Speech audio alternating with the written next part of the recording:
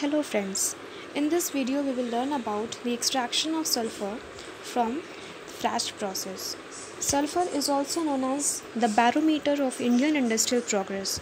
So from the name itself you'll know that how much important sulfur is to us. It is also used in the manufacture of sulfuric acid which is one of the most important chemical. So without wasting any time let us start learning how sulfur is extracted. In the flow sheet you can see that the three the in concentric pipes are there and the innermost one is containing the solid sulfur. Sulfur is present in solid form. So how are we going to take out? So in order to melt it we need to supply heat and heat is supplied through the treated water. Treated water is nothing but distilled water. So treated water at temperature of about 160 to 180 degrees Celsius is poured in the outermost pipe. But it's obvious that water will not exist in 160 to 180 degrees Celsius in its liquid form.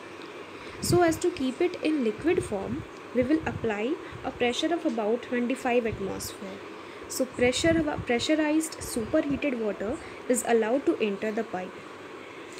Slowly and steadily, the sulfur present in the innermost pipe starts melting.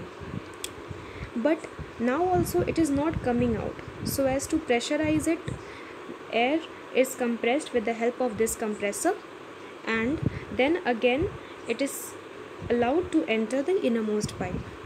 Now the sulfur, the molten sulfur which is at temperature of about 113 degrees Celsius will ooze out of the middle pipe.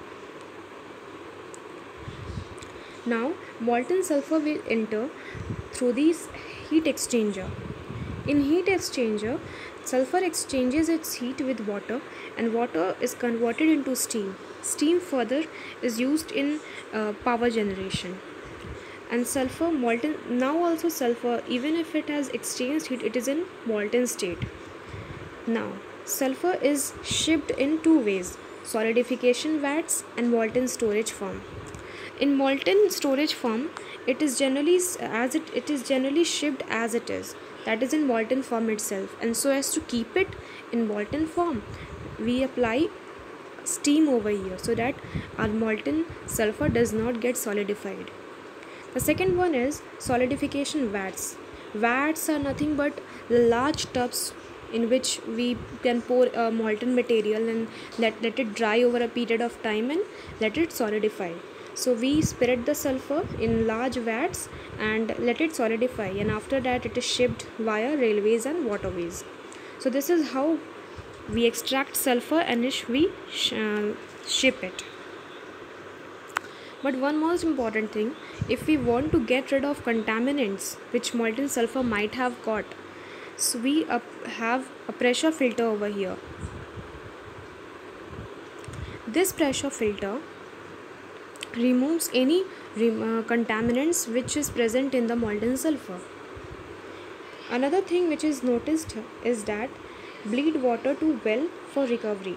Whatever water we are using to melt the sulfur is coming out and we call it bleed water that is contaminated water and we have we are sending it for recovery so that we can treat it again and we can reuse it so that water is not wasted so this is how we extract sulfur from the mines and this is all about the Frasch process.